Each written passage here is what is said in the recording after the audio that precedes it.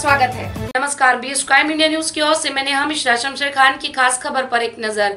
बहुप्रतिष्ठित बपेरा अंतर्राज्य सीमा पर जिला पुलिस विभाग की चौकी मंजूर किए जाने के पश्चात इसका उद्घाटन जिला पुलिस अधीक्षक के हाथों किया गया। वहीं इस चौकी को 20 गाँव की ज़िम्मेदारी सौंपे जाने की आशा होकर अब इस चौकी पर काम का तनाव बढ़ने की आशंका जताई जा रही है।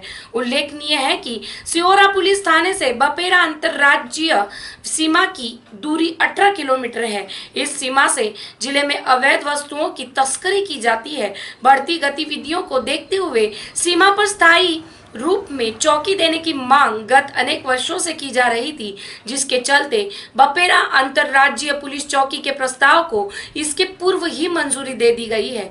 किंतु भूमि को लेकर यह चौकी निर्माण कार्य रुका हुआ पड़ा था। पुलिस चौकी इमारत निर्माण कार्य के लिए देवसर्रा गाँव की सीमा में भूमि का मुआयना भी किया गया, जो आज भी विवाद में है। ऐसे सीमा पर तैनात कर्मचारियों को काफ़ी परेशानियों से जूझना पड़ रहा था, जिसे ध्यान में रखते हुए जिला पुलिस विभाग द्वारा अस्थायी रूप से एक निजी मकान में गणेश चतुर्थी के पूर्व संध्या पर चौकी की मंजूरी प्रदान की गई। हाल ही में इस चौकी का उद्घाटन जिला पुलिस अधीक्षक विनीता साहू के हाथों किया गया।